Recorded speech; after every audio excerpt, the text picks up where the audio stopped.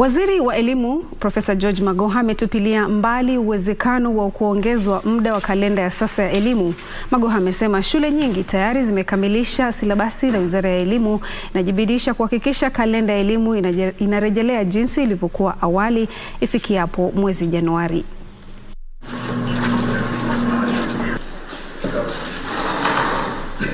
Everybody seems to be worried that, oh, we should extend time and what have you.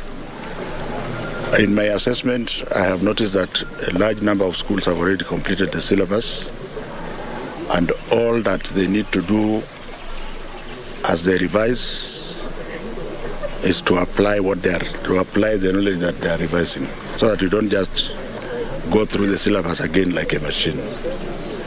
And I think all all will be well. Those who are so afraid that the time is going to be short, I think uh, we wait and cross the bridge when we get there.